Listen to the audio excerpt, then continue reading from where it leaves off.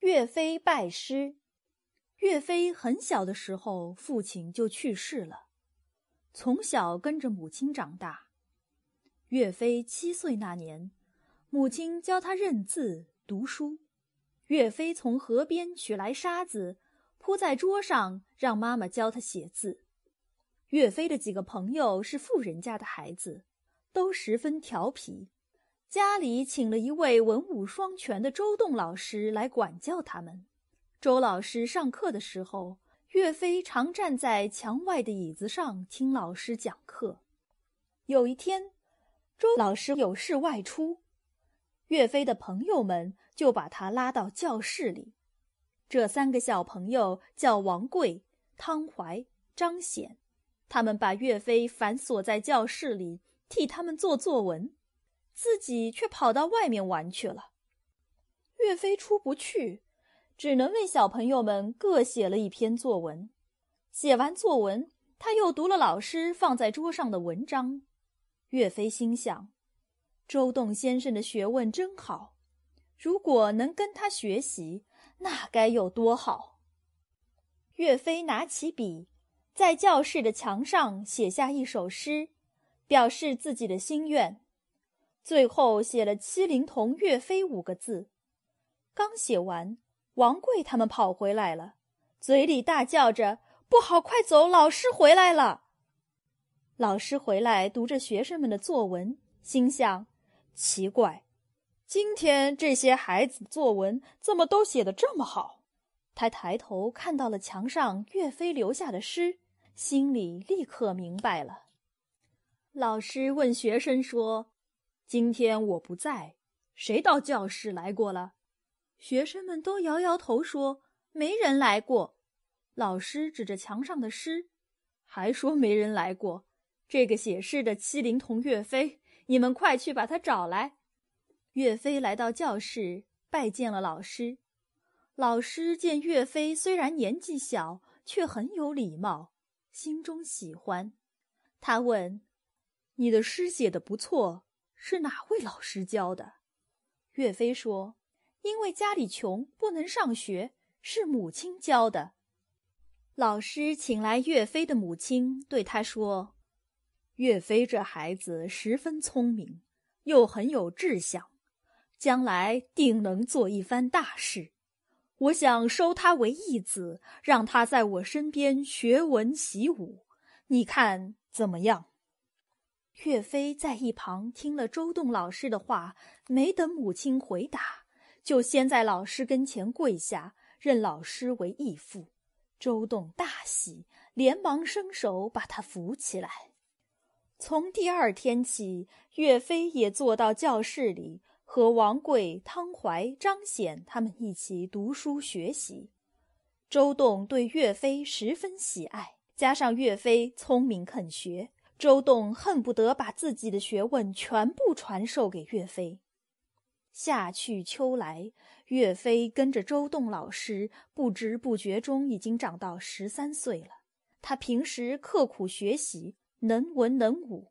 王贵他们在岳飞的影响下也认真学习，有了很大的进步。武同应试，周栋本是一代名师，文武双全。在他的精心培养下，四个学生都成了武艺高强的少年英雄。那一年，县里要举行武童生的考试，王贵、汤怀和张显的家里特地为他们准备了新衣服。周栋对他们说：“明天你们自己去，到考场与我和岳飞碰头。”周栋拿出自己以前的战袍。让岳飞的母亲按岳飞的身材改了改。第二天一早，岳飞穿着母亲连夜改好的战袍，和义父两人赶往考场。周栋和岳飞在紧挨考场的一个茶座上坐下，王贵他们也到了。周栋说：“岳飞的武艺强些，一起考显不出你们的本事，你们先去吧。”考试开始了，考场上传来刷刷的射箭声。周栋微微含笑。岳飞问：“爹爹为何好笑？”周栋说：“那些比剑的只听得弓声箭响，没听得射中的鼓声，岂不好笑？”在考场那边，轮到王贵他们了。汤怀上前请求说：“请把箭垛摆远些。”考官就让人把箭垛从六十步移到八十步。王贵他们说：“再远些，再远些。”结果移到一百二十步。王贵、汤怀和张显立定之后，开弓发箭，果然箭箭上垛。考场上箭射中的阵阵鼓声盖过了弓箭声，直到箭射完了，鼓声才停下来。全场观众齐声叫好。